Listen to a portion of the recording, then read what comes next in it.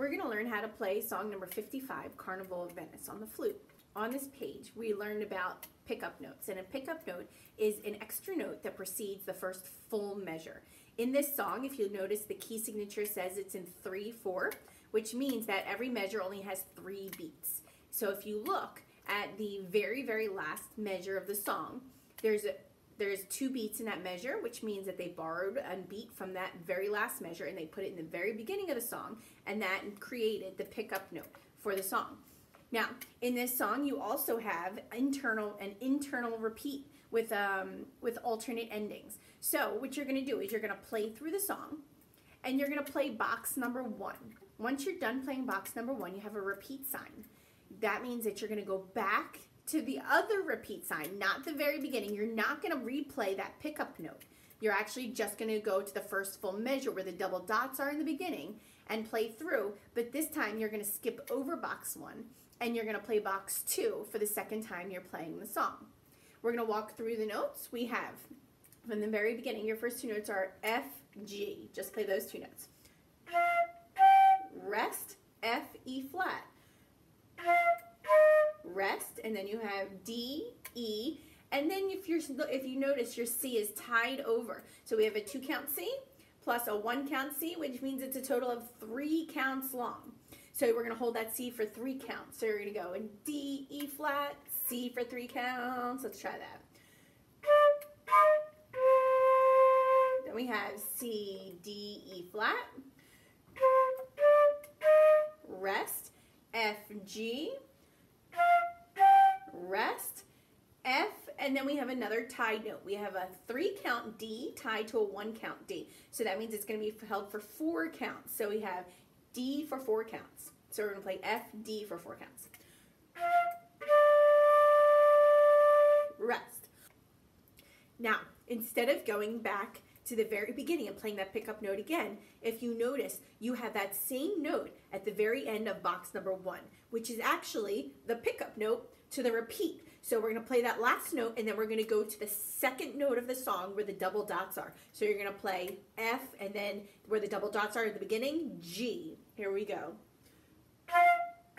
Rest, F, E flat, rest, D, E flat, C for three counts. Then we have C, D, E flat, rest, F, G, rest F, and but this time we're skipping over to box number two because it's the second time we're playing this song. So you're gonna play F and then box number two, a B flat for four counts. Rest. Great, let's walk through that song one more time. Here we go from the very beginning. We have F, G, rest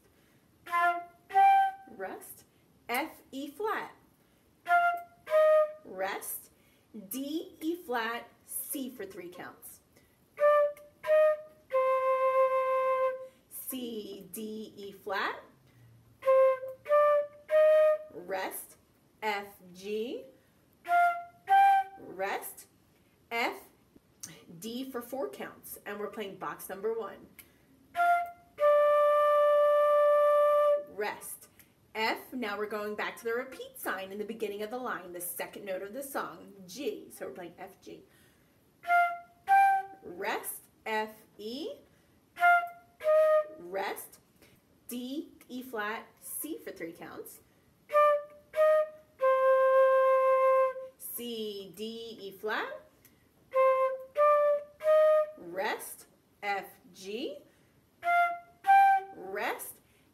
Skipped over to box number two, B flat for four counts.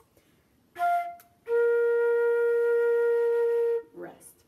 We're going to play this to a metronome marking of 80. Try your best to stay along with the beat. I'm going to count one, two, three, one, two before we start with our pickup. Here we go. One, two, three, one, two. Rest. Rest.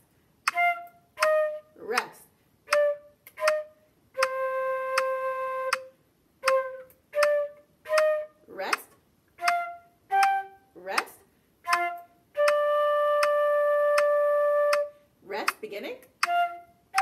Rest. Rest.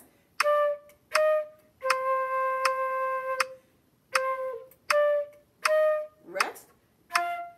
Skip to box number two. Rest. Great job. I can't wait to hear your recordings.